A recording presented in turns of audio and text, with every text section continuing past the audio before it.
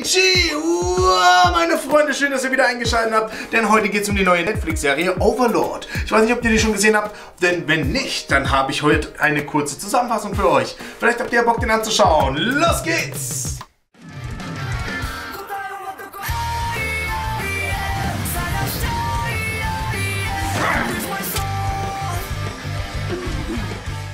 Also als allererstes mal ganz kurz die Zusammenfassung. Warum gibt es denn dieses Format jetzt? Ich habe mir gedacht, es gibt so viele neue Anime. Momentan sind wir in der goldenen Ära der Anime und man weiß gar nicht mehr, was man anschauen soll. Crunchyroll, Netflix und ganz viele andere Portale bieten ja immer wieder was Neues an. Und da ist es oftmals das Problem, sich wirklich für einen neuen Anime zu entscheiden. Vor allem, wenn er mehrere Folgen hat. Weil wer kennt das nicht?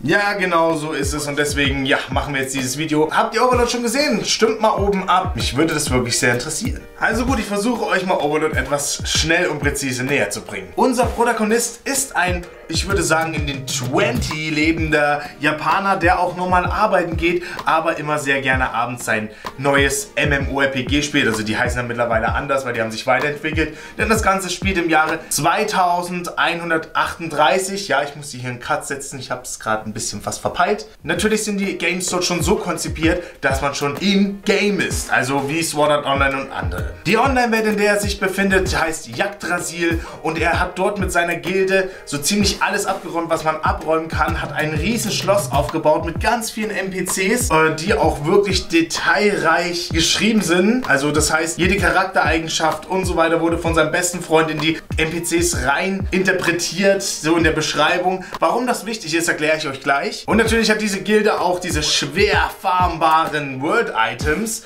die natürlich übermächtig sind. Das einzige Problem jetzt bei den Games, die Server werden abgeschaltet, weil es einfach schon alt ist. Und von seiner alten Guild ist auch gar keiner mehr online. Er ist so ziemlich der Letzte, der noch drin ist und lockt sich kurz vom Server down nochmal ein und will die letzte Zeit dort genießen, bevor die Server down gehen.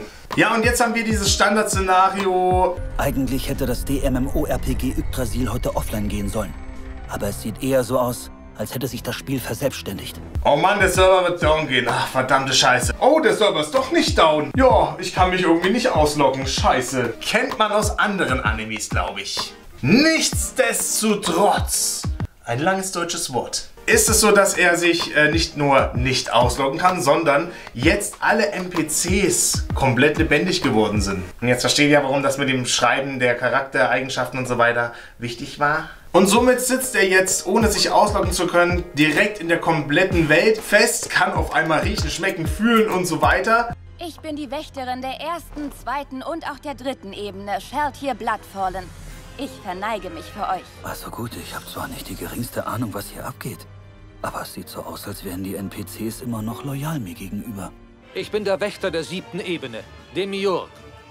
Ich verneige mich vor euch. Ich bin der oberste Wächter, Albedo. Oh, Wahnsinn, riecht die aber gut. Warte mal, ich kann sie riechen? Was mache ich denn jetzt? Alle NPCs sind genauso wie Menschen und auch die Außenwelt hat sich verändert. Denn sein komplettes Gildenschloss ist jetzt auf einer weiten Ebene oder Wiese, wie es halt eben in fast jedem RPG oder MMORPG am Anfang zum Start ist. Was er natürlich festgestellt hat, ist, dass er trotzdem noch alle Items hat, also alle World-Items und anscheinend auch noch das Level, genauso wie die NPCs, mega, mega stark sind. Und somit ist er halt von Anfang an einfach mega Overpowered. Overpowered. Overlord. Overpowered. Overlord. Also ich möchte natürlich nicht spoilern in diesem Video, deswegen ich gebe von der Story weiter noch nichts preis. Ihr wisst jetzt, um was es geht. Man kann sagen, es ist wirklich ein Action-Anime, der aber auch Elementen von Comedy hat, aber nicht so krass, dass er komplett abdriftet. Also der hat immer so gut platzierte, lustige Witze, dass du immer denkst so... Also auf jeden Fall mal lachen und schmunzeln. Was ich auf jeden Fall erwähnen möchte, ist, dass die deutsche Synchro mega, mega gut ist, dass da wirklich richtig geile Synchro-Sachen sind. Nicht so dieses stupide, ich übersetze jetzt eins zu eins und es muss fernsehtauglich sein, sondern da kommen auch mal diverse Wörter und lustige Wortspiele vor allem immer wieder mit rein. Deswegen, das kann man sich echt geben. Ich muss echt voll lachen bei der deutschen Synchro. Auch wenn man sagt Anime und äh, immer nur Sub und nicht Dub. Was meint ihr? Ihr könnt oben in der Umfrage teilnehmen, SAP oder DAP ist besser. Und ich muss jetzt echt ein wirklich gutes Wort für die Deutschen mittlerweile einlegen. Für die DAPs sind die sind richtig, richtig gut und modern. Eins sollte auf jeden Fall noch gesagt sein, da es ein Action-Anime ist, ist es wirklich so, dass auch die Kampfszenen richtig, richtig geil gemacht sind. Also die sind wirklich gut animiert und zu meinem Erschrecken auch wirklich sehr brutal. Also die Serie ist definitiv nichts für Kinder. Also der Brutalitätsgrad, der hat mich schon ab und zu erschrocken. Also nicht, dass es jetzt so komplett übertrieben ist, aber ich muss sagen, da waren schon Momente dabei, da musste ich sagen so... Ich vergaß dir zu sagen, wie eigensinnig ich bin. Ich habe den Anime fertig geschaut, der hat aktuell nur die erste Staffel, die zweite läuft gerade in Japan aktuell, äh, kann man sich definitiv geben. Die Story schreitet langsam voran, aber wenn man weiß, es geht weiter, ist da auf jeden Fall noch viel Platz für weiteres. Charakterentwicklung richtig geil, aber schaut gerne mal rein und schreibt mir dann, wie ihr es fandet. Ich bin gespannt.